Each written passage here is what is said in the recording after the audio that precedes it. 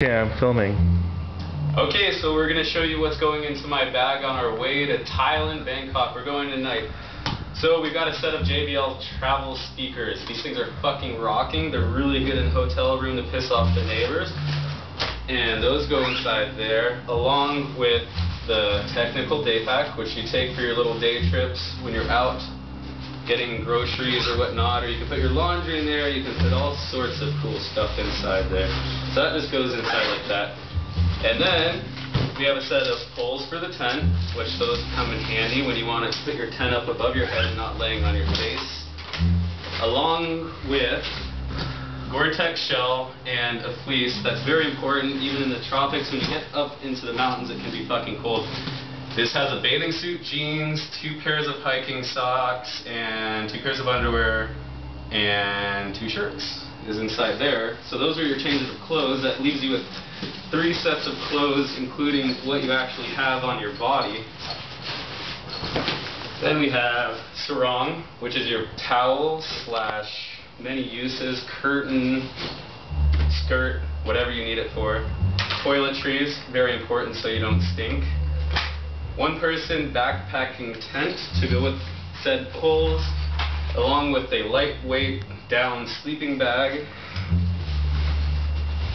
Let's see, so that goes in there.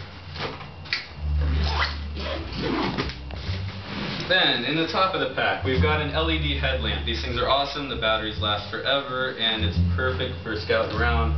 A compass, you never know when you're going to be fucked in the middle of nowhere. Even in a city to orientate your map to know which way is north is really fucking helpful. This thing, you put money in it and you go to the beach and then you can buy beers without getting your money wet and you put it inside your pocket. That's fucking helpful and cool when you're out at the beach. A pen to write down, you know, whatever, Swedish girls numbers when you're at the bar. That's important. Memphis batteries for said speakers when you're not able to plug it into your hotel room. Those last for a long time on the beach. A thing of Nutella because, well, sometimes you need comfort food when you're you gotta fucking have that. And then this thing, I don't really know. It's for glasses, but normally I keep my glasses on my head. So that goes in there. Boom. Now that's enough to get you wherever the fuck you want to go. What do we have in here? We've got iPod Touch, email, music, store your videos, all that bullshit. A nice digital camera, 8 megapixel little Canon thingy with a thing. And then we've got a bunch of cash and some earphones. And my passport's also inside there.